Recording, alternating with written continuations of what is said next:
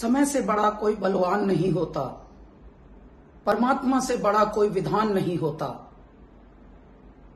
हमारे कलीग, हमारे मित्र, हमारे दोस्त, के के, कृष्ण कुमार, बहुत ही अच्छे गायक, बहुत ही अच्छे इंसान, उनका अकस्मात जाना, पूरे संगीत जगत के लिए एक बहुत ही गहरा संवेदना और दुख और पीड़ा का समय हो गया है।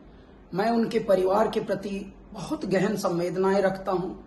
कुछ परिस्थितियाँ ऐसी हो जाती हैं कि मनुष्य को निशब्द कर जाती हैं।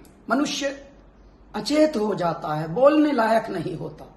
अचानक जाना तो सभी को होता है, लेकिन इस आयु में जाना और इस तरह से जाना तो ये एक बहुत ही पीड़ादायक स्थिति हुई। तो ऐ मेरे मित्र आपकी आत्मा को परमात्मा सदगति दें और आपके परिवार को ये पूरी पीड़ा, पूरा दुख सहन करने की शक्ति दें, संबल दें। और आपके लिए, पूरे परिवार के लिए, पूरे संगीत जगत के प्रशंसकों के लिए बहुत बहुत प्रार्थनाएँ हैं। हरिओम।